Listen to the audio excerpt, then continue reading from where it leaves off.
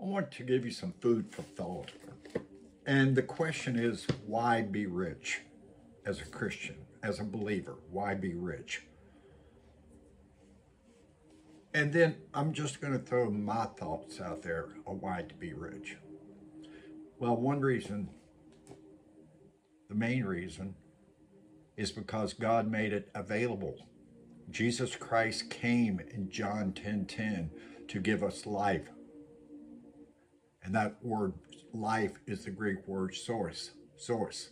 It means life in all its manifestation. He came to give us a more than abundant life, not just an ordinary life, and more than abundant. That means plenty. You don't have to worry about where your next meal is coming from. You don't have to worry about not having the needs that you have met because God is able to do exceedingly abundantly above all that we ask or think according to the power that worketh within us. In 3 John 2, God tells us that he wish above all things that we may prosper and to be in health.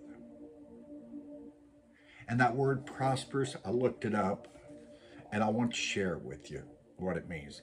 It means the condition of being successful or thriving, especially economics well-being. God wants you to be well off. He wants you to be healthy. He wants you to be well. But you may say, oh, I'm so humble, I'm poor. Well, that's a bunch of bullock, okay? Because basically, how can you help your fellow man if you're poor without and living from paycheck to paycheck?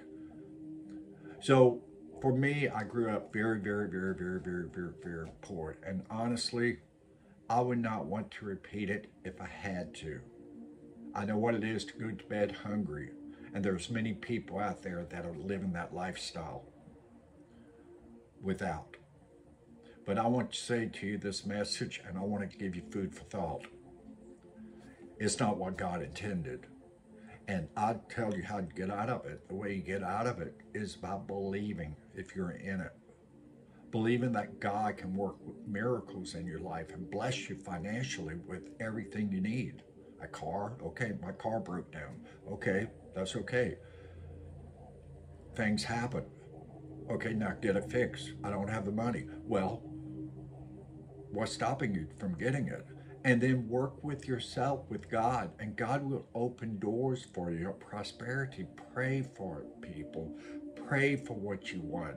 God is able to do exceedingly abundant. Just give him a chance okay? These are my thoughts for the day. I hope you enjoyed them and please come back and thank you so much for watching. God bless you. Bye bye